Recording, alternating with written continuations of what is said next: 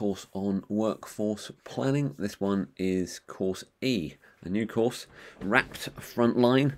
Uh, session one is the skills. Uh, session two will be on a project to uh, actually get these skills developed uh, in uh, an organisation.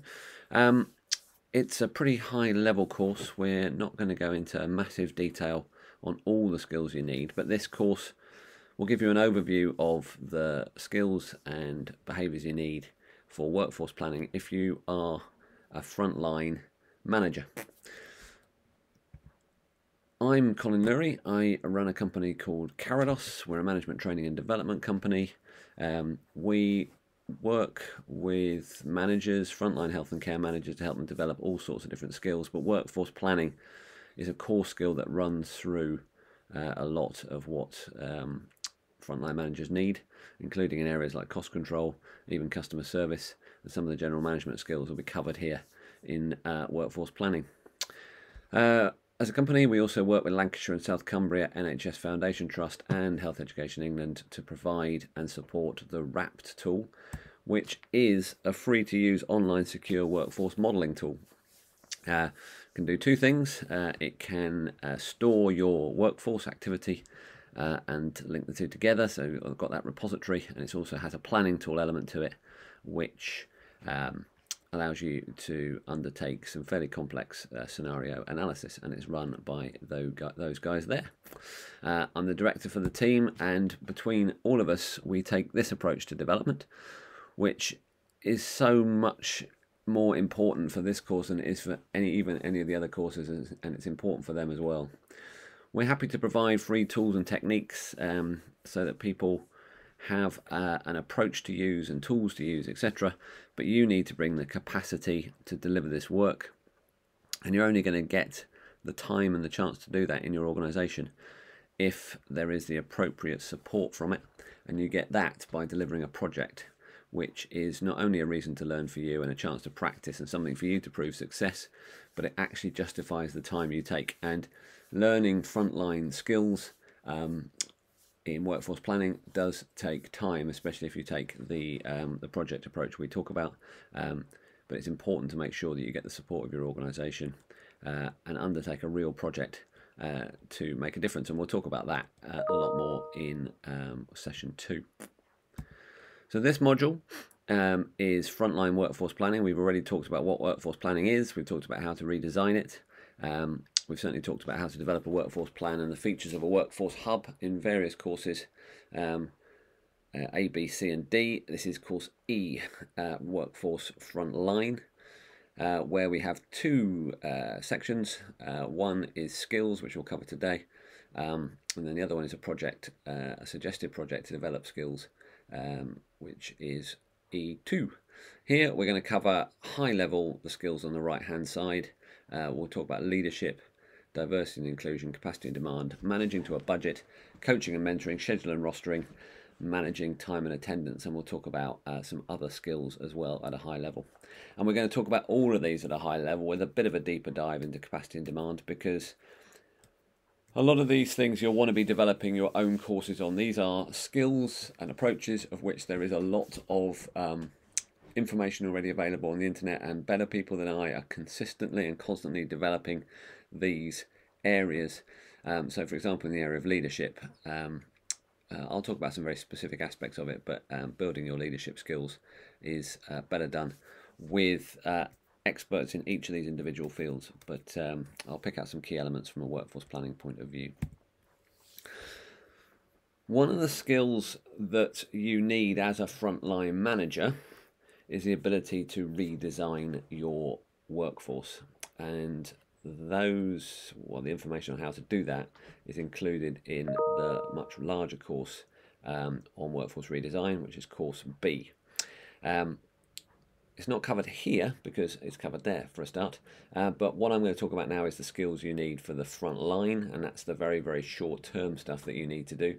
Um, it's certainly stuff that you're going to do um, mainly on a daily basis, fortnightly basis, possibly up to annual basis. Um, but it's going to be the sort of the, the very short term skills, whereas redesign um, is slightly further down the spectrum. But if you're a frontline manager, you are going to need to know how to do workforce redesign, um, and so it's worth looking at that of course. Right, um, so uh, into uh, WRaPT frontline. What is workforce planning? All right, we learned this in course zero, but it's worth reflecting it here today. So we're here to report to support the delivery of excellent healthcare and health improvement to the patients and public of England by ensuring that the workforce of today and tomorrow has the right numbers, skills, values, and behaviours at the right time and in the right place. And we talked about the fact that that was a very wide ranging definition by Health Education England that covered everything from the very strategic we have to make sure that we uh, hire 10,000 nurses to fill a gap or 20,000 mental health staff, all the way down to the front line, where you have to make sure that on the day you are matching demand with the right people. And you're only doing that stuff on the right hand side, the strategic stuff, so that the day to day matching of demand and activity to staff every day is done right. So workforce planning happens in that entire spectrum. And I'm going to talk about the skills you need to manage staff, um, essentially manage staff versus capacity workforce plan at that front front end. Talked earlier about the pyramid and how important that is for this project. It is absolutely, um, it is absolutely critical because when we do this, um, okay, if you're doing it on your own and developing your own skills, that is fine and absolutely great. But if you're going to do this across a division, or you're going to do this across an organization or across a practice, um, then this is going to take up some time because there's quite a lot of development that needs to happen. And the development of workforce planning skills will help you to reduce cost, to improve patient service and service user service, and to improve staff morale and experience, etc. Improve workforce planning. If you're going to do this across an organisation, then you are going to need to, to uh, have a proper project to do it, and that project is going to have to make a difference. Okay, if you want to try and really develop people in this stuff, you really need a project to make this work, and we'll talk about that in session uh, two in much more detail. But it's worth checking that one out. Right, but this is about the skills, uh, so let's think about the skills. Um, what you've got are a range of skills there. I'm going to go into detail on everything from leadership down to managing time and attendance. Um, and then we'll talk about giving feedback, managing conflict, uh, service user engagement, permission, and building a team in some of the um, in some of the uh, lighter sections at the end. As I say, I'm not going to go into a vast amount of detail on these. Probably capacity and demand will be the biggest. What I will uh, do is I will, um, as we develop these, as we do these these courses more regularly, I will start to put uh, longer courses up on uh, YouTube. But for the moment, um, as I said, what you want to be thinking of is just understanding why these skills are important, picking up what we talk about here, uh, but then developing your own learning around each of these different areas it can be done uh, on things like the internet, on things like I'm sure it's Coursera and the Great Courses Plus, um, and also working with uh, other training organisations like your Training Hub, uh, if you're in primary care, uh, like Skills for Care, Skills for Health, Health Education England's website, um, uh, the e-learning um, stuff that's out there. There's a lo whole load of uh, sources for this stuff um, that you can build your own courses on. Right, so let's look at each one in a little bit of detail then. So first one you're going to need is leadership. I'm not even sure this is a skill. It might even be a talent. Um, uh, it could be anything really, but the reality is is that this is number one for a reason. Um, is your ability to lead your team um, is uh, vital importance when it comes to workforce planning. It will make a massive difference. It's the single biggest thing I always find that makes a difference to retention um, and uh, thus to recruitment uh, in many cases. Um, it's uh, but also the effectiveness of your staff, so sort of the re-energization of your staff, will come from good leadership, um, and obviously the staff benefits are um, massive uh, in terms of having a good leader. I still remember the great leaders that I have worked for. Of course, I remember the bad leaders I've worked for as well. There are a few things just to pick out from leadership, really, um, because as a concept, as an area, as a skill, or whatever, it's very large. First thing I pick out is care. Okay, what we're really talking about here is really just being mindful of the relationships, taking care. Um, basically, it's about talking to people, getting to know them, um, find out what they're interested in, um, find out what they want to be developed in, uh, find out about their circumstances. If you treat your team as individuals and understand what's important to them, etc., um, if you even say thank you uh, regularly when it is deserved, then you will end up with um, a better team just as a result of that than somebody that does not uh, does not care. But the key thing here is about being mindful. Um, there is a book that I use, which is uh, John C. Maxwell's Winning with People. Um, there are a whole load of other things that can help you think through your uh, relationships. But I always think about three specific things. One is my team, but also thinking about your service users. It's not easy always to see them as individuals, but certainly um, caring about service users when you are workforce planning and when you are working uh, is a key part of workforce planning. Uh, but also caring for your organization, okay, which means understanding what the organization needs in each case. Um, uh, and you could see that as your boss. But essentially, those are the three things you need to consider. How do you care for? The second word I've got there is um, is vision. Now, if we go back to the implement um, stage of course B, workforce redesign, we learnt about Kotter's approach to uh, implementing change, uh, and a vision is absolutely key to that. Um, it's also uh, a key part of leadership. Um, you need to be able to think ahead Think about what things will affect me. Think about what will affect the team, the service users, and the organizations again. Um, and then develop a, a, vision that will see you through those and communicate that well uh, to the team. Uh, get their feedback and, and adjust that vision um, as required, but have that vision for where the team is going to go. That will make a very large impact on uh, retention, um, uh, as well as um, you know, generally making sure your team are um, happy and bought in with where the team is going.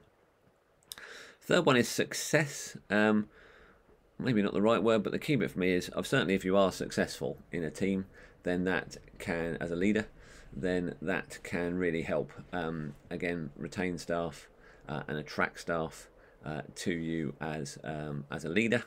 Um, so success is important, but it's more than just being successful. It's about when you're not succeeding, picking yourself up immediately from that and going, right, what can I do next? How can I move from where we are now so that we can become successful and to start that again? Possibly developing a, an amendment or a change to your vision and starting again with the same energy that you had before. Um, and then if that doesn't go well, doing the same again, picking it up and moving it on and bringing the team with you where you can. Um, it's one of the toughest things to do uh, in uh, leadership. And sometimes, if you just haven't succeeded enough, sometimes you might have to take a break or move elsewhere um, to sort of start that process again. But success is a key part for me, um, and that ability to build success uh, even when things haven't gone well. And then finally, authenticity. Uh, people talk a lot about work life balance. Uh, you're at work for a large part of your life, um, and uh, my belief around leadership is that you should be authentic, be yourself, um, pretty much no matter what that is within reason. Um, there's a lot of talk about gravitas and behaving as a leader and everything else. I think the key bit for me is um, absolutely um, be professional, but also uh, be yourself because people do respond well to that within your team. Um, and again, you can make a less stressful work workforce, less stressful work environment uh, where people see you're authentic and are able to be authentic themselves uh, again within within reason okay so leadership's the first one uh, I mean, I go back to that thing about care more than anything else. It is absolutely about being mindful about your team. You are accountable for that team. You're leading that team. They will look to you, um, and so uh, having leadership as a core uh, first skill is important to me. Now, the second skill uh, here, um, again, whether it's a skill or not, or whether it's just part of what you do, this can be trained. Um, I mean, why it makes a difference, I'll start with at the bottom. Diversity inclusion is critical for a large number of reasons. I mean, the first reason is that it's the right thing to do. Um, is to be uh, fair to everybody is absolutely the right thing to do. Secondly, though, if you're not if you're not building from a diverse group, if you haven't got a diverse group of people, you're not selecting from the entire workforce pool, and therefore you will not have the best workforce that you can have. Um, you'll be restricting the, the, the, pool you can recruit from. So you do need to be able to make sure that your um, your team is pulling from all the right areas and is not discounting people based on the various elements of the um, uh, Equality Act. So it's important to make sure it's big enough, but it's also important to make sure that you keep people in your team once you've recruited people. So if you're recruiting from a diverse team, if you do not act in a way which um, actively manages the diversity of your team, then you will lose those people quickly. Okay, and even where you've been trained in this thing, that can happen. Okay, we it's it's about making sure your team is diverse as a whole, and that will mean you being trained in specific areas. Uh, there is great bias awareness um, uh, courses, well, courses just uh, materials online uh, to help you understand where you are being biased. Um, all of us have a degree, or most of us have a degree of bias um, towards uh, and against certain groups that we won't even be aware of, and helping to understand that is a great uh, bit of time you can spend. Um, some of the best training and the most impactful training I have ever had um, was on diversity training and specific um, training for me as an ally. Uh, in this particular case, as an LGBTQ uh, plus ally. Um, if you can learn about uh, people's perspective, and the ally training was for me was um, was delivered by um, uh, yeah, individuals with lived experience if I can use that phrase at that point, um, that was really, really helpful. And we've had this not just for um, for sexuality, but we've also had it for age. Uh, I've had it for ethnicity and different faiths.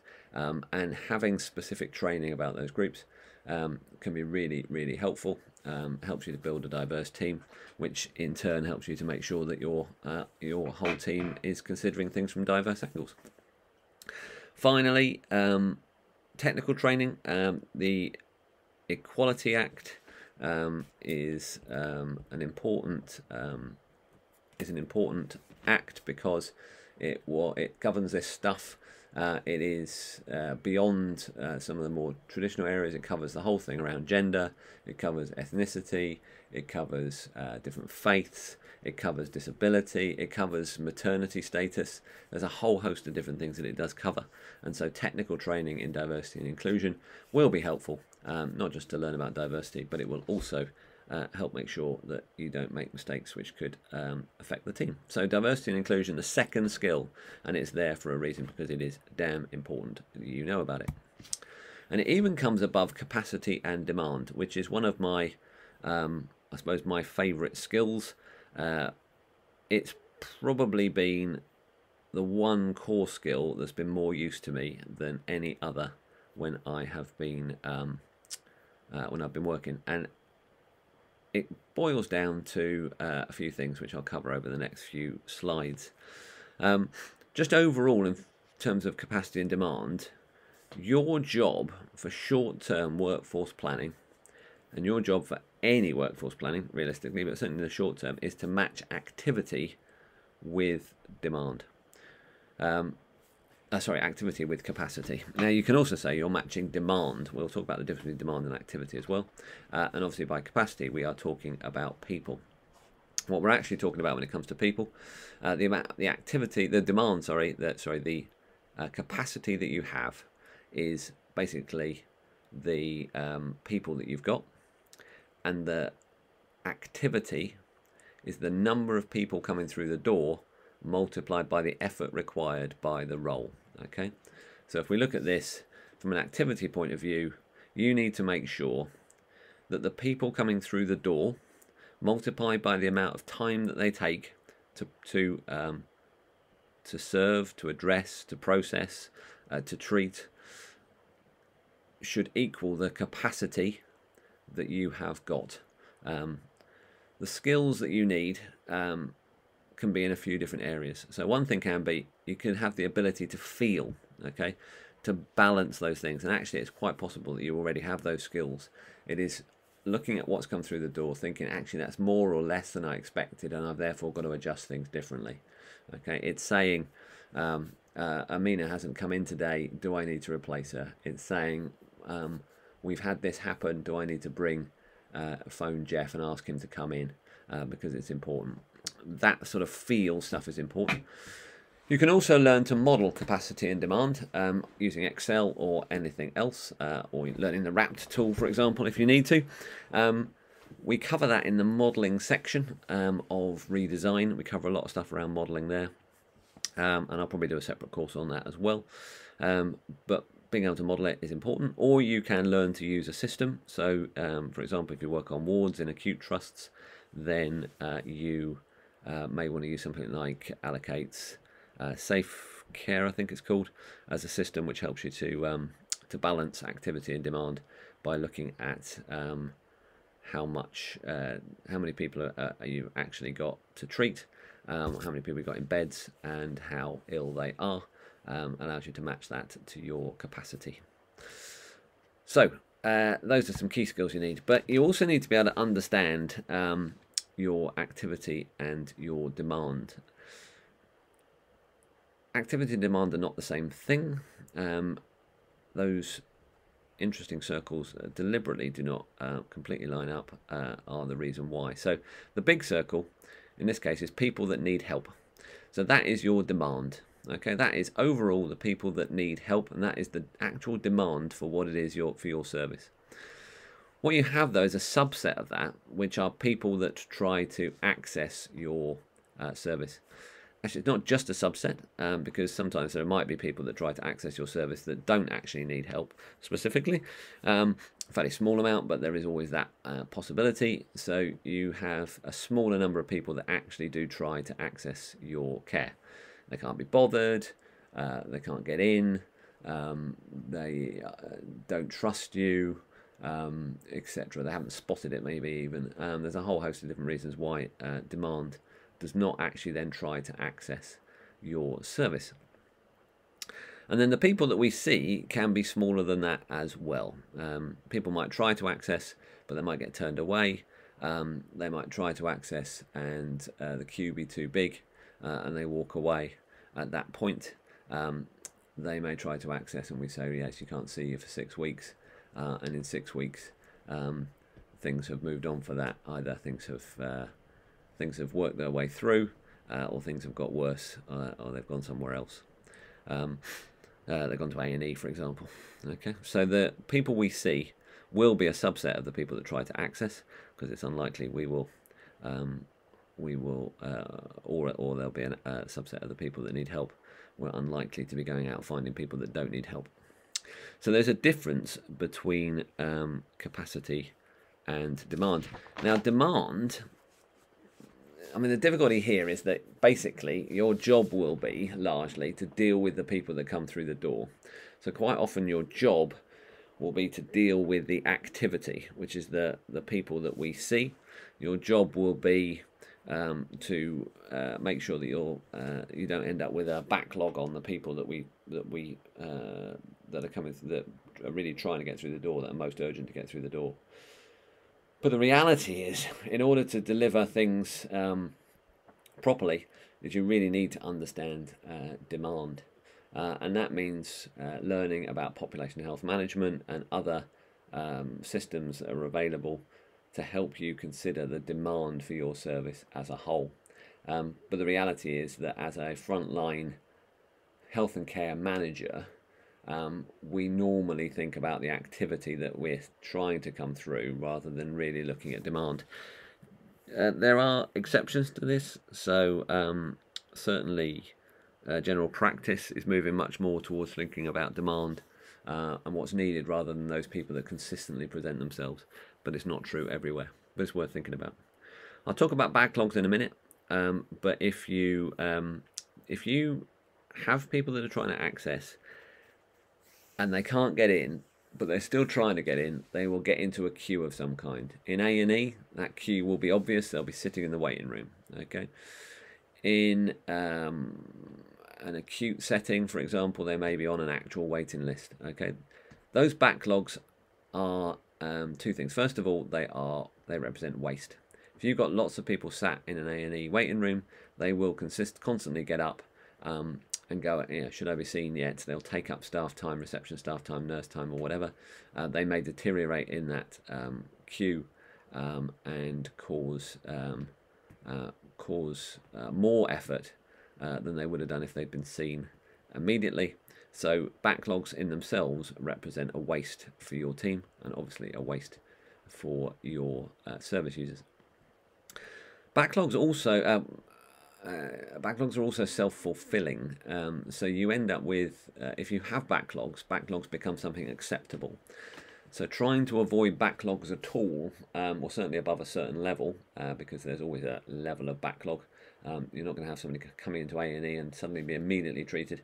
Um, uh, or appearing uh, at a front door to say I've got a um, uh, a condition and immediately being treated for that condition. There's normally a degree of waiting um, is acceptable, but you set that level of acceptable backlog, um, and if you go beyond that, then that starts to become acceptable, and so suddenly um, six month, twelve month waiting lists are acceptable. Um, suddenly, um, eight hour, ten hour, twelve hour waits are acceptable. The trick is to avoid those at all where possible um, and then talk about how to deal with those. So we'll talk about how to deal with backlogs in a second. But backlogs in themselves are something which um, are worth understanding and again being mindful of. So, from a capacity and demand point of view, obviously a capacity point of view, you can change your capacity. You can bring people in, you can bring in bank and agency, um, etc. Um, we'll talk about budgets in a minute, which will be a, um, uh, may actually prevent some of that stuff. But you need to think about demand as well. So capacity and demand are two sides of uh, an equation, um, and uh, making sure you've got enough capacity is um, is part of that. At the moment, though, the reality is it's all about demand. Uh, financial considerations provide a block to infinite demand but so does the availability of staff just in general. We just don't have a lot of people available. Um, and demand, even if those people were available generally, is coming in in waves. It can be a, a tsunami in some cases of demand. Um, and you can't always uh, meet everything that comes through the door. So you as a manager uh, need to have um, an ability to manage that demand both proactively and reactively. So how can you manage demand? Well, if you've spotted that you have a large ongoing demand in general, um, large going activity in general, thinking about how you can move people towards self-assessment and self-treatment um, is, um, is, I suppose, is the first step and is a great proactive step where you can. Done this with general practice before with mental health services. Is that certain parts of the um, certain demographics are able to uh, certain people are able to self-assess certain people are able to self treat. Um, a lot of work in general practice about helping people to gain control of their own um, uh, issues rather than you remaining in control of their issues. Um, but provide finding ways for people to self-assess and self-treat is a great way to reduce uh, demand into your um, into your team. Secondly, you can monitor and address um, two things. One is wrong patients. So if you're consistently getting patients that are coming in which are wrong, they should not be coming into your service for whatever reason, um, then you can um, find mechanisms, mechanism to understand, uh, to monitor those levels, to, to, to record and monitor and see that those are coming in, and then address why they are coming in. Um, there are systems that can help you do this in A&E, for example.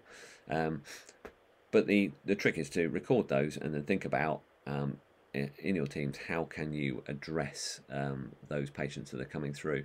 The same is true of upstream service issues. If, if patients are coming in and they're not of the appropriate, uh, their weight's not under control if needed, or, or the appropriate weight if, if that's important, um, if um, forms are being provided without the right information, and that's increasing your demand because it's increasing the amount of time you've got to take. Those are things you need to log, and those are things you need to raise, and those are things you need to deal with. Um, you can do that by recording the cost of those, uh, by going back by forming good relationships with those teams that are upstream, etc. Um, but by doing this, you will bring your demand uh, down. Now then, if you've done all that stuff, um, or you can't do all that stuff just yet because it's quite short term and the problem's just come up, then there are then only really a couple of things you can do. And the first thing you can do is you can reduce the level of service that you're providing to people coming through the door. Now, that's either legitimate or illegitimate. You can legitimately doing it through redesign of what you do, and you decide that actually those patients or service users don't need that level of support um, anyway, um, and therefore you can legitimately, through some redesign, try and reduce the level of service that you provide, thus reducing the amount of time each person takes. There are times, however, when you have to do it from a risk-based point of view. We also, during COVID, ICUs having to have fewer people supporting the beds. Um, so you're taking a risk-based reduction. It's not something you'd want to do normally, but given the situation, it's better to do that than to stop treating some people and shut your doors earlier. Okay, so if that means um, one nurse to uh, six beds rather than two beds, so be it for that period. Um, and that's a risk-based reduction, and being able to make those decisions. Um, being able to address that is one thing you can do. Obviously, that's massively clinical. Um, uh, in that particular case uh, and should only be done under those uh, under strict uh, control cir circumstances working with uh, clinical teams but risk-based reductions of all sorts are a possibility. And then at the end you might have to stop treating some people. When demand becomes overwhelming you may need to triage and only treat those that um, you can have the most impact with um, and then obviously the final option is to shut the doors and say I can only treat those people, you have to go elsewhere. Which doesn't sound like a great place to get to, but in reality, we we do ration healthcare in this country at times for various different reasons.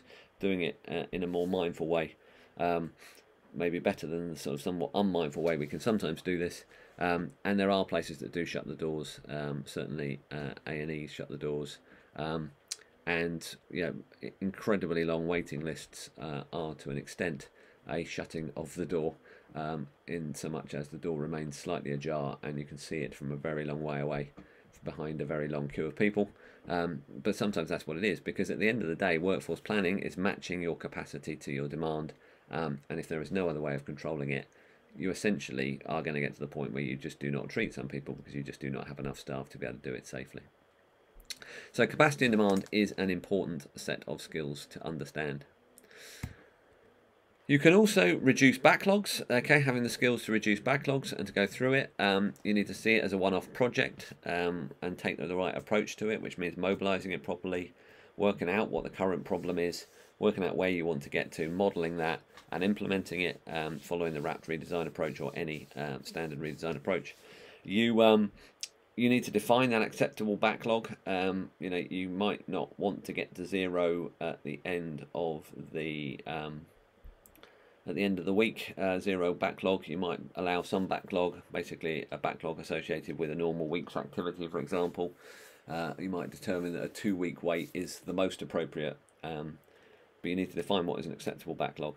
Um, you obviously need to be able to review the backlog to alter demand. Um, obviously, I've done a number of re clinical reviews with clinicians to look at uh, backlogs to work out are there alternatives that that um, that could be uh, to treatment that could be put in place um, bring out those that uh, no longer require treatment for whatever reasons, uh, including uh, death in some circumstances. Um, so you can review that backlog, and then when you've done that, you need to put in place supply options, um, waiting list initiatives, um, or uh, additional sessions, or whatever else. Uh, obviously, there are dangers to doing that around setting precedents, etc., for, um, for addressing backlogs. But uh, you'll need to put in place supply options. And once you've done that, though, the critical thing is to make sure you have put in place processes to make sure backlogs don't happen again. Um, so that's monitoring um, and then um, making sure that they are raised in team meetings where the backlogs might be um, starting to get close to what's acceptable or whatever, uh, or gone over what's acceptable, and dealing with those in the short term rather than allowing them to become large scale backlogs. So. Capacity and demand as a set of skills is not one it's easy to find a lot of training on actually, so I will run a probably separate course on capacity and demand at some point. But reducing backlogs is a key part of it. So one of the things we talked about, which can be difficult when it comes to people, is that we need to manage to a budget. Now, uh, it's one that can be easily taught, uh, but it is one that has a big impact. A lot of this stuff comes down to skills, some of it comes down to permission, though, and helping people to understand what they can do. I do a lot of coaching with teams around how to manage to a budget, um, how to challenge budgets, um, etc.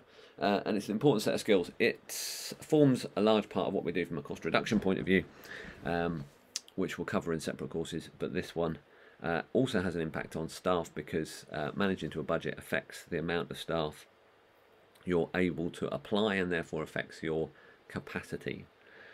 Um, managing to a few managing to a budget includes a few things. It means you need to be able to understand uh, your budget first of all. Okay, so you do need to understand what your budget is, um, what costs make it up, what do you have control over, who has control over the rest, um, what do on costs mean or uplifts mean, um, and understanding what costs are fixed and what costs are variable, um, uh, and therefore change with activity. Um, understanding the budget is a key first step. Um, uh, and then we'll talk a little bit later about how you then agree it and then how you can challenge it. But understanding the budget is the first thing. Understanding cost statements as well, so teaching people to understand uh, those statements that come through um, is important. It amazes me how often we get cost statements through that are very difficult to read. Nobody really takes the time to read them and does not there understand where their costs are coming through and therefore cannot challenge those costs coming through where they are wrong and make sure they go to the right team so that you don't end up with the blame for overspend. Um, also, understanding the service specification and the activity is important. So, what have you signed up to deliver? Because it's quite possible that we are delivering um, a different service, possibly more, possibly less, we're probably delivering a different standard of service from the one that's signed up to. And if we're delivering more, we need to understand is that wanted? Um, should we be doing that? If we're delivering less, um, uh, is that okay? Uh, finding out from uh, the people that are actually commissioning the service, um, is it okay to be doing that? Because you're finding it's okay clinically, so shouldn't they be finding it's okay? So the service specification is important, but also understanding the activity plan. How much activity were um, uh, were people expecting that we would have to deal with? How much are we actually paid for? And understanding that again helps us to understand variances to that when we look at variable costs. So there are three things that you need to understand before you start: the budget, your cost statements, um, your service specification, your activity plan, and helping people to go through that is absolutely um, uh, gold dust in terms of uh, understanding budget and making sure you're managing uh, your budget and managing your costs um, and therefore um, uh, optimizing the variance between those two. So those are things that you need to understand, but there are also skills that you need or approaches that you need to consider. One is agreeing or challenging the budget. So you need to give people the chance to agree a budget and to challenge the budget. At one point, I tried to get people to actually sign up to budgets because, in reality, if somebody isn't signed up to a budget, if they don't accept a budget, then um, how can you hold them to account for that budget? Um, but I've often found that actually that's uh, not really the thing to do because people either just agree to it anyway um, without really understanding it, um, or it becomes a big fight to get them to agree to something which they don't feel in control of. But certainly getting to the point and, th- and helping people to think through why aren't they agreeing a budget uh, is an important thing. So, agreeing or challenging the budget is um, as an important thing. Um, it's worth them understanding what costs they can control and what costs they can't control. They do tend to focus a lot on the costs they can't control and complain about central uh, charges, etc. Um, but getting them to focus on their part of the budget is important. We also need to think about making changes because if budgets aren't being met, um, either historically um, or because there's a cost improvement uh, CIP that's required, so they've got to reduce their budget by 4% this year, then they need to understand how they can make changes uh, to meet that budget. And those changes will almost certainly involve staffing, almost certainly involve a degree of redesign. Um, So how they can make changes is an important thing to um, to teach people as well and help them think it through and think about where might I be able to spot opportunities to reduce cost. Now, one big one here, and the absolute nub of this, is playing with variable costs. Um, and certainly the, the area when it comes to uh, workforce planning is important. Because when you sign up to a budget, you don't sign up to that budget no matter what happens. You sign up to that budget based on normal things uh, happening with your activity and normal things happening with your capacity.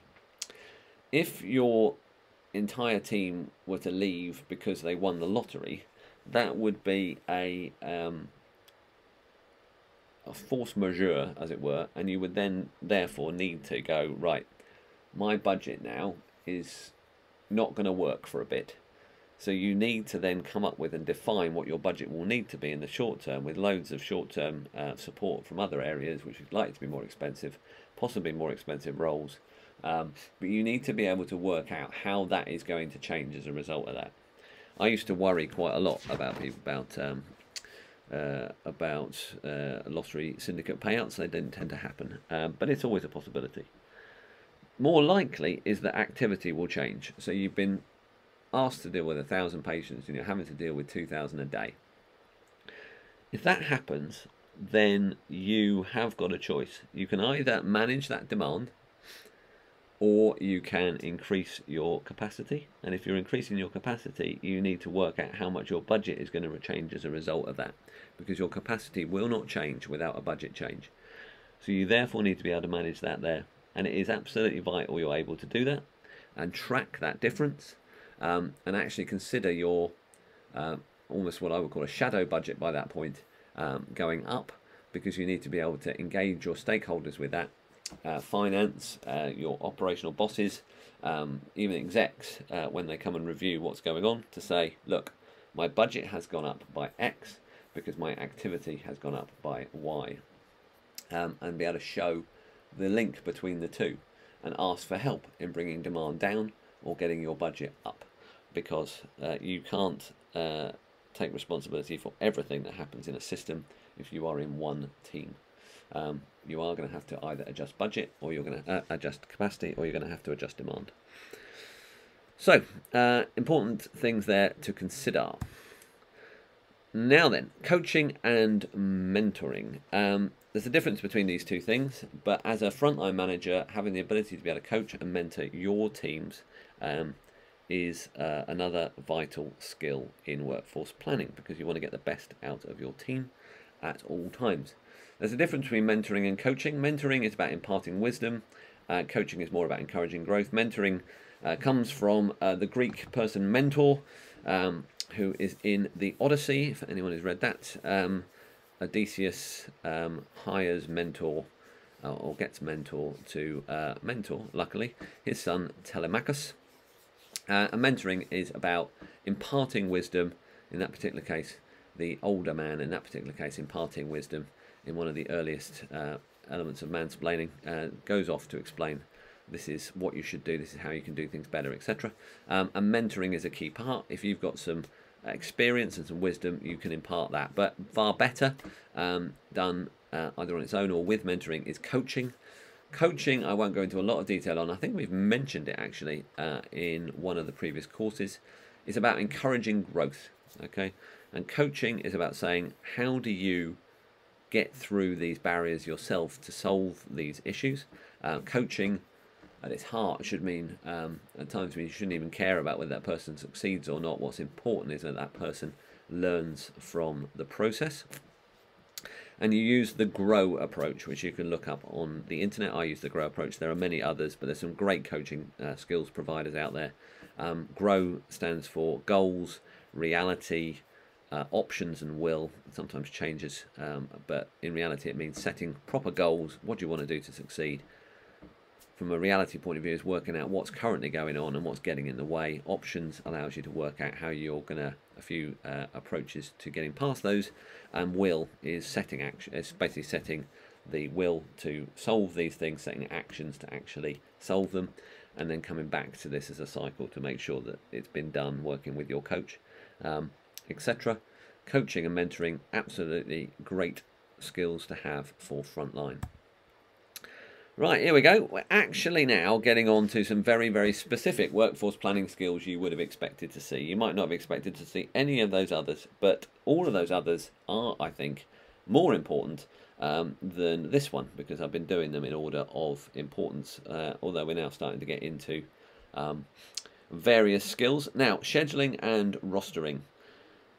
It's generally the sort of stuff that's done primarily on a weekly to annual basis. Um, it's a skill that relies heavily on uh, understanding capacity and demand uh, because you are matching your staffing capacity to the activity or the demand you're going to face. You're just doing this on a more um, uh, on a more regular basis, or you're doing it to a certain regularity, okay, rather than it being a general thing that you need to do. But you are still doing this um, uh, on uh, uh, an annual basis and you're doing it on um, probably a fortnightly basis or a weekly basis. So some of the stuff we talked about under capacity and demand was how do you deal with it in the moment? How do you match it at the time?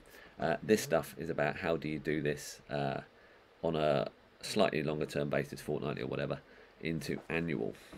Uh, annual scheduling is about understanding the patterns of demand across the year. Okay, so it's working out how many people with what skills am I going to need to match the activity I need across the year. Okay, you're thinking about annual leave. Um, you're thinking about um, uh, you're thinking about your um, when a conference is likely to happen. You're thinking about the likelihood of parental leave, training events, um, etc. You're trying to work that through, and you should be doing this annually to say, right, let's plan the year across. Hopefully, doing it with your team uh, in some regards. Now, not everyone is going to tell you exactly when they're going to go on holiday. You're not necessarily going to know exactly when the conferences are, but trying to work that through and thinking, right, does my demand change across the year? Am I quieter in summer? Am I quieter at Christmas? Yeah, probably not. Um, but where are you uh, quietest? Where are you busiest across the year? And therefore, um, you're trying to work out uh, how that works. By getting as much information on the availability of people as you can, then you're more able to be able to match these together. So a lot of this comes down to care, understanding your people, and them uh, caring about what you're doing and thinking, yeah, I'm going to try and match my capacity to your demand, boss. Um, that can be really helpful. So you're trying to come up with the information on the availability of people. You do need an agreed set of rules to govern when time is taken off, though, because even with the best teams, there will be argument and resentment about who's taking time off when. There are times when leave is more valuable than others. Um, for example, at Christmas or other holidays, uh, it obviously becomes um, it becomes important to people. So you need an agreed set of leave rules. You need to uh, agreed set of, of rules to say, uh, okay, guys, when are we? Um, if somebody um, has Christmas one year or this important time one year, um, what's the rules for, for the next year? Yeah, so one person can't constantly have uh, that time off necessarily. So it's worth setting those guidelines in place. But it's also, the key one is how many people can be off at any one time. Um, you are not going to be able to manage demand against your capacity if your entire capacity disappears off to a conference um, for a week um, at a certain point. But you can plan for that conference and try and manage demand down for that week and up around the weeks if you do know about it in advance. Um, so information on the availability of people and an agreed set of leave rules are important. Um, uh, rules become very important when it, when we get into um, actually into scheduling, uh, into rostering um, later on. But having an agreed set of leave rules is important.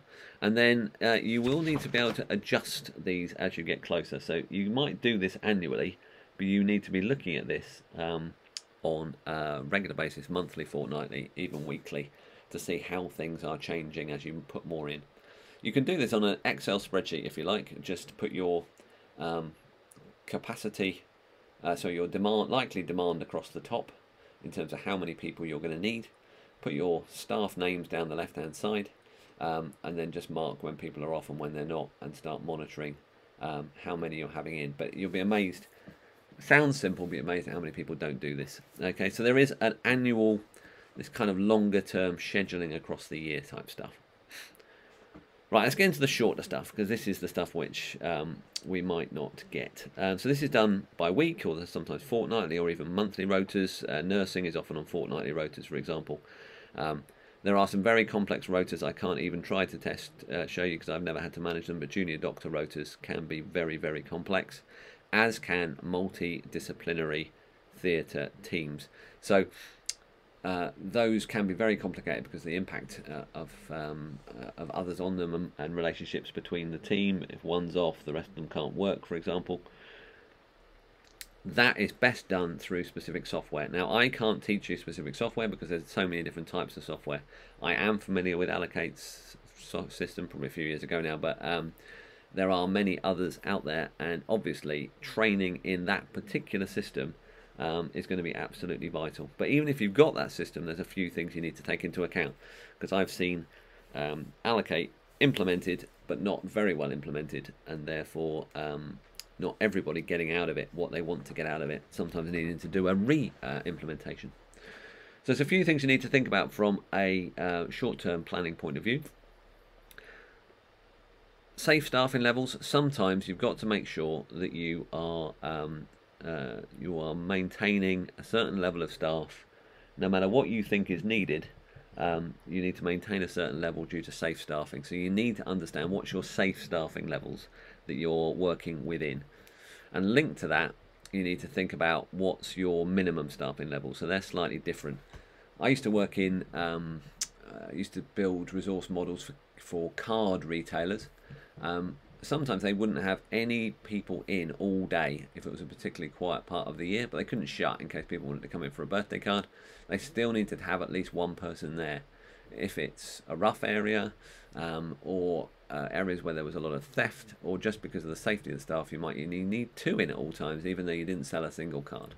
Okay, so no matter what, you might need to have one person, you might need to have two, um, you might need to have more if you've got to cover a large area. Okay. So understanding your minimum staffing levels is an important part of short-term planning. Um, you need to think about the rules again, okay? Um, the rules that people set for their working patterns can be the single biggest issue you'll have matching staff to demand. When we did a lot of return to work, return to practice type planning uh, with nursing, for example, there were some pretty specific rules that people imposed in terms of wanting to come back. Um, and yeah, that was to solve a problem at that time. We needed to get people to come back in. But the more rules that there are in place, the more restrictions people place on when they are willing to work, then the more difficult it is to roster. Okay, and automatic rosters will struggle um, with these rules. Um, sometimes rules are in place for legacy reasons. Um, yeah, sometimes people say, right, it's based around school hours, and those people, uh, their kids are in their 20s by this point. Um, sometimes they are needed, um, but working with individuals to minimize the amount of rules that are in place, working with teams to minimize the amount of rules that are in place, um, that people, the restrictive rules that people put in place over their working time um, is important. Um, I've seen some very bad practice in some of these areas where people were planning their rules, planning the rules for when they were working based around getting the best agency shifts elsewhere. Um, uh, yeah, it's great for that individual, not great for the team. So um, you need to think about um, uh, what rules people have in place. You also need to think of inefficiency. Um, I'm not one of these people that has a uh, crusade against waste. Uh, waste happens; it's a natural part of life. There are lots of other wastes going on around the place, um, so don't get too hung up on um, on waste. You are going to end up with the odd busy rush. Uh, you're going to end up with the odd quiet afternoon, and that is part of the joy of life. So you're not going to match people. Um, but what you don't want to be doing is deliberately not matching people and creating waste. So the aim of rostering is to minimize the wasted hours. Okay, so what we want to be doing is trying to make sure that we have the right people in um, to match the demand, and you want to try and match that demand as much as possible. You also want to avoid lost contracted hours. So if you're if you have a contract to use somebody 75 hours a week, which you often do with nurse rostering, and you can't use them or you don't use them on your roster, you're paying them anyway. Okay, we call those lost hours or unused hours. and you need to make sure you're minimizing those um, where possible. Uh, even if you can't minimize them, at least drawing attention to them so that you might get some flexibility out of somebody later on down the line. Um, you want to be making sure that you are um, minimizing those lost contract hours. Um, a few other things to think about rota checks. Um, so if you manage multiple teams, um, then you should be monitoring the mo- the rota performance in advance. So um, you know this is about uh, if you're if you've got theatre matching, for example, you need to make sure that you've got the capacity is coming in, and therefore in advance it looks like you know two weeks in advance we've got most of the list filled. Um, that is important and then we check at that point to make sure that the rota we've got on matches that capacity and we can adjust it otherwise if you're nurse rostering then um, you uh, might get helped by Allocate's um, uh, approach which allows you to uh, see if you're a um, uh, if you are a matron you can see how rostering is going uh, in each of your um, in each of your wards um, having a rota check process that allows um, somebody to check to make sure that the rota in, in a team has been done properly and feeding back and addressing that will be a great part of, uh, of rotary that you want rostering that you want to be able to do. The other thing is automatic matching. As I say, uh, automatic matching is important. You need to get the rules right, uh, but also from an automatic matching point of view, you often find that managers are ignoring automatic matching. Why do they ignore it? Well, there's all sorts of different reasons. One of which is because they want their friends to get the best shifts, um, and there's often bias there, so that can happen. Um, sometimes it's they just don't trust the automatic matching, or it doesn't do it doesn't quite as pretty as they would want it to be. So you do need to make sure that you have um, uh, automatic matching is done properly. Um, and that needs to be coached through. So people need to understand it and they need to coach it through. I have seen so many examples where people, in their own time, um, make a, a, manual rota and then uh, force the automatic matching to mix to fit that rota, um, basically by stopping it from being automatic. It's uh, it's frustrating for that individual a lot of the time. Actually, it's certainly frustrating for the team. Um, and so, working with individuals to get the automatic matching right by sorting out the rules uh, and by allowing it to follow its uh, automatic match is important. Uh, finally, reasonable shifts. Um, you need to give people reasonable shifts. If you have a peak of demand for an hour, you can't expect someone to come in just for that one hour. Okay, so I have seen retailers that have done that in the past. It is not fair. Okay, you need to make sure that you are um, that you are giving people reasonable shifts where um, where they're needed. So, um, workforce planning is a balance between staff uh, capacity and it's a balance between that and demand. Um, it's tough to match them, okay? But scheduling and rostering is the skill of trying to do that annually and to do that um, uh, fortnightly or, or, weekly to do that. Um, final big skill to play in, I suppose, is the managing of time and attendance. Um, this is an important one, again, from a workforce planning point of view. Uh, sickness, absence um, has an impact on your capacity. Uh, and because it tends to happen short term and people don't tell you about it in advance, in lots of cases, it can have quite a big impact because it's uh, either costly to deal with uh, or it means that the rest of the team has to work harder, um, which uh, can have an impact on outcomes for service users. From a short-term point of view, um, I always split things into short-term absence and long-term absence. I see them as different things. Okay, um, but um, day to day, people need to arrive um, uh, when needed, and they need to stay to the end of their shift unless we don't need them. In which case, you know, you should be allowing people to go home if that is needed, and hopefully build up um, some uh, degree of um, uh, flexibility later on. Um, but sickness is an important thing. There's a number of things you need to be aware of. You do need to be uh, aware of your HR systems. You certainly need to be trained in using your HR systems to record time and attendance, to record absence. Um, that's important. Um, you also need to make sure that you are not recoding but recording and monitoring short-term absence um, as you go through um, and you record this as a team and as individuals so you can see what you've got as a percentage because if you're getting uh, if you're increasing uh, then you might need to put things in place um, you can also do benchmarking I think we used to say we're trying to keep things below 3.5% in acute trusts. Uh, whether that is still possible, I'm not sure. Um, when you are recording sickness, though, the general overall amount is not necessarily the most important thing. Uh, lots of short term, one day um, people being off uh, can be more disruptive than somebody being off for a week. Um, so, therefore, some trusts use the Bradford factor, um, which is basically calculated. Um, uh, I won't go into exactly how it's calculated. It's very easy to pick this one up on the internet, but basically, it does. Um, it's the number of instances um, is essentially counted more than the number of days. Okay, I think the number of instances is squared and then multiplied by the number of days absent in a one-year period, and that um, that magnifies the impact of those multiple short absences. So it's worth looking at that um, as a potential way of monitoring uh, sickness because that helps you to identify where the issues are. You need to be able to be taught how to take undertake back to work interviews and to again be mindful in those back to work interviews. They're not just a mechanism. We need to understand is that person well enough to come back to work and, and what do we need to support them to keep them in work rather than go off again. Um, you need to be able to flag if they're nearing any thresholds for, for more formal monitoring because um, that might make a difference to some people um, and it's fair anyway. Um, and you need to discuss if anything needs to change. Um, uh, and also give them an update on anything that's happened while they've been away so that they are effective when they come back. So, uh, being able to do appropriate back to work interviews is another key skill.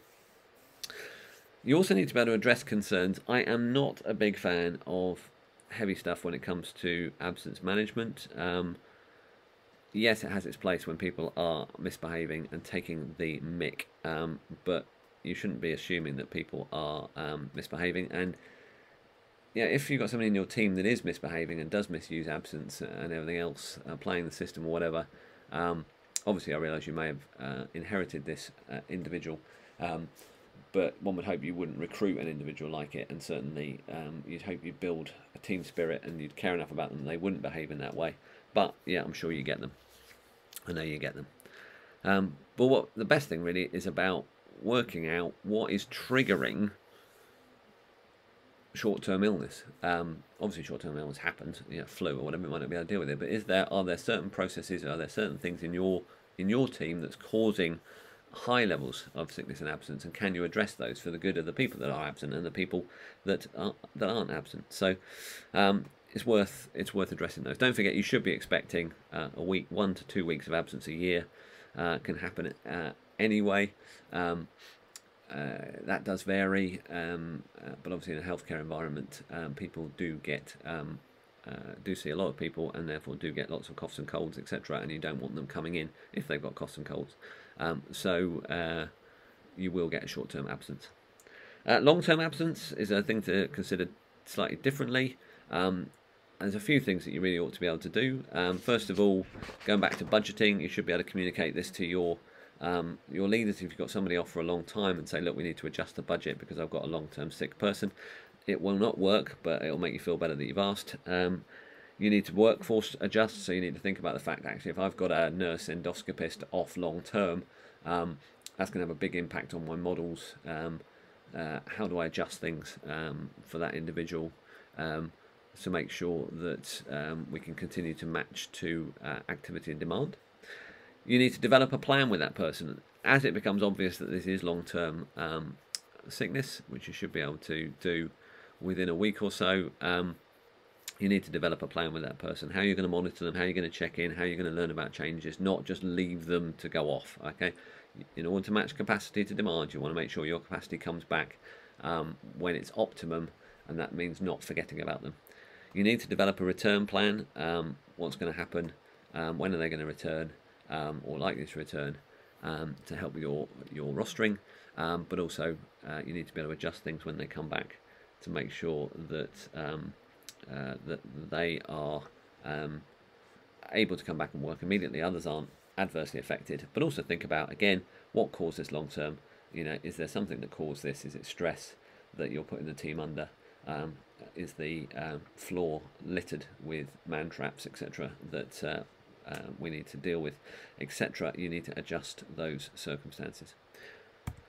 There are some other skills as well that I haven't gone into. Um, I'll briefly mention these because these are things. Uh, policy and process skills, you need to know all the workforce policies and processes that apply to their teams. Um, you know, getting those wrong can cause problems um, uh, with your teams, and therefore people do need to know that. Um, it often amazes me how hard people find it to give feedback, um, but there are some very, very specific things that you can train people in in terms of how to give feedback. That means saying thank you for stuff that's being done well, mindfully giving feedback around uh, development, so the whole feedback sandwich stuff. Um, uh, you know, people in senior positions um, should not be generally giving negative feedback immediately to people well below their um, their position. Um, the impact of that is important, so therefore helping people to understand the impact of their feedback um, is critical. Um, because giving feedback should not be uh, a chance to whack someone around the head verbally rather than uh, physically. It should be about helping them to develop and helping the team develop. Uh, you should know how to manage conflict um, and how to build a team. Um, you want a great team. Uh, this may be actually one of the most important skills uh, to have. Um, so I've put it quite far down here, but it is an important one. Uh, Patrick Lencioni's The Five Dysfunctions of a Team is a great book on that. Um, also doing things like Myers-Briggs, doing team events and the like to get people together to think about how they fit within a team can be important. If your team is together for a long time, doing stuff around this can be absolutely um, gold uh, to really help you manage your team as a team. Okay, that will help you get more out of it. It will help reduce. Um, uh, it will help reduce uh, absence. It will improve efficiency, and it will improve the morale of the team. Uh, teaching people about, patient and, and service user engagement um, is important. So helping people to understand how they can engage patients um, to learn about what's important to them and therefore strip out stuff that isn't important and focus on stuff that is important um, is good. Um, so teaching people um, how to talk to people while they're in waiting rooms um, about their travel amazes me whenever I talk to patients about the travel that they've made to get to places. Sometimes it's extraordinary. Um, you might want to um, teach people how to engage uh, expert um, patients or whatever, some absolute clinical patients, some key patients um, to use as um, uh, to bounce ideas off, etc., to help understand how you can reduce demand, etc. Also, formal patient engagement, the use of surveys and focus groups and patient engagement sessions, these are all skills that are worthwhile. Finally, uh, permission. Um, I've left this one last. It's still very important. Um, I've worked with lots of organisations where we seem to have beaten out the ability of staff to do stuff, um, and we therefore make them. Um, we create a situation where they feel helpless. We've created situations where staff aren't allowed to change light bulbs uh, because it's dangerous or because the light bulb is more expensive. Um, they're not allowed to put a hook up. Um, they're going to call maintenance in to do that, etc. And I'm not saying that people should, you know, with uh, with abandon, just go off and do various different things. Um, but I think help managers to understand that they are there to manage uh, and to feel empowered to make things happen um, without um, without acting in a, in a cavalier fashion. Um, it's an area which um, is about developing that as an individual to think about what they can do rather than what they can't do all the time. Is an important part of what I tend to do. Uh, it's an area fraught with danger, um, but you'll often find that the barriers are in people's minds rather than actual real barriers and helping people work through okay, is this a barrier? What can we do about it? How can we get around it? Um, how can we address these things? Helping them to think through how they can solve issues rather than say, actually, I can't solve it, uh, is an important part of um, management, an important part of workforce planning. So I am well aware that I've wandered into the realms of other skills. I've also wandered into the realms of cost control. Um, and that's because, uh, hey, workforce planning is important in lots of areas, but also lots of areas are important to workforce planning. Um, there will be uh, more and more of these courses available on YouTube to cover some of these different areas. Um, but when we get into course 2, E2, I'm going to talk about how you will be able to build a project across your organization, or might be able to build a project across your organization, which will allow you to develop lots of managers, lots of frontline people in this skill. Make this a key part, management, uh, training and workforce planning, a key part of what people do for the benefit of the organization, uh, and a way you can go about doing this um, uh, and then also get the time to develop these courses yourself within your organisation. Um, so worth looking at course E2, which is a bit of a strange one, but worth looking at. Thank you for listening. You might want to continue that WRaPT frontline course which we talked about, or you might want to look at WRaPT plan, WRaPT redesign, or WRaPT frontline. These are all great things to look at. Um, but you also might want to register the WRaPT tool. You might want to buy the Bumper Book of Health and Care Workforce Planning, where all of this is covered. Uh, should be available in July. Um, you can visit the WRaPT website, uh, the Health Education England workforce planning pages, and you can visit the Carados website. Um, please email me through that, um, and I'll answer any questions you have on workforce planning. Thanks for listening, uh, and thanks for your time. Cheers.